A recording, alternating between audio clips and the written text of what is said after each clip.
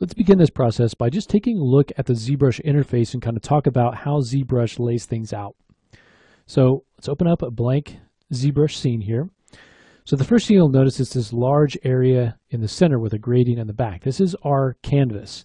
So think of this as kind of where your 3D objects are going to live. Now they're going to be dealt with a little bit differently than you would in uh, a 3D application like Maya or 3ds Max or something like that.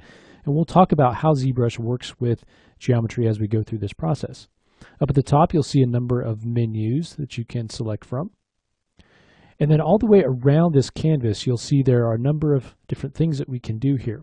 Up at the top, this, these are going to be very important settings for us as we go through and paint and sculpt. So we've got settings for things like, are we going to, to add color? How much color? Are we going to, to pull out material as we sculpt? Are we going to push it in instead? How much, how intense is that going to be? And then also things like the brush size or the draw size as ZBrush calls it. And then sort of a fall off um, that we call the focal shift. And these change how our brush looks. You can see as I move my cursor around, the brush size here will change based on our draw size. And then that inner ring will change based on our focal shift. Okay, we have some buttons over here on the right hand side which will uh, kind of help us frame up our objects and we can turn on grids and things like that to better see our objects in our canvas. Over to the left hand side, this is going to be a really important area because this is going to determine how the strokes are laid down, what is actually happening. So what kind of brush are we going to use, what kind of stroke, so how that brush is applied, if we have any sort of alpha or tip for the brush, if we use any sort of a color texture, and what kind of material we have in addition to the color that we're going to be painting. You can see I can go in here and select different colors.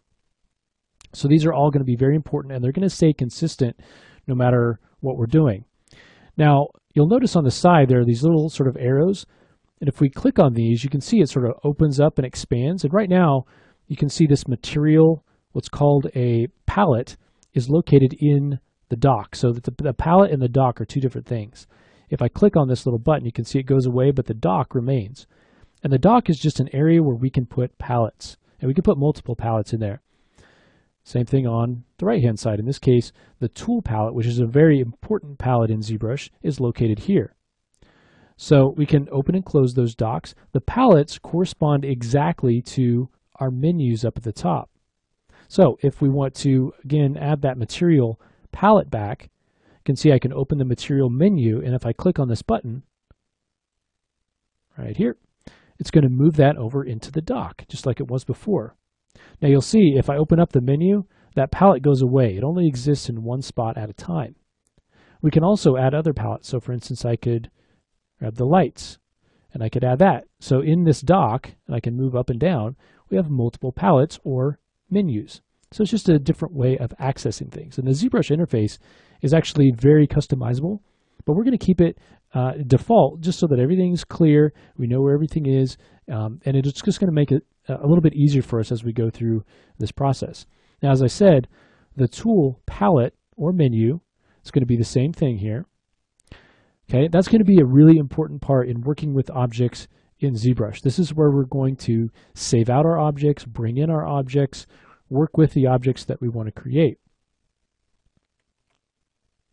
So you can see here there's this large tool icon. If we click on that, you can see we get the choice to bring in lots of different 3D meshes in addition to some 2.5D brushes.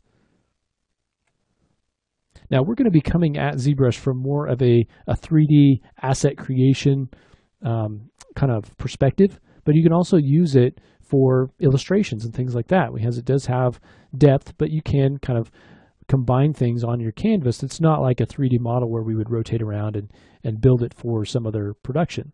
So it does have that ability. You can see that reflected here in a number of 2.5D brushes. Now the way that ZBrush works with geometry is going to be a little bit different. So in the next lesson, let's actually go through just a really quick process of what we would do to work on an asset. So we'll use something very simple, but just kind of show you that paradigm before we get into looking at each area a little bit more in depth. Okay, so in the next lesson, we'll just go through and get started with a simple run through.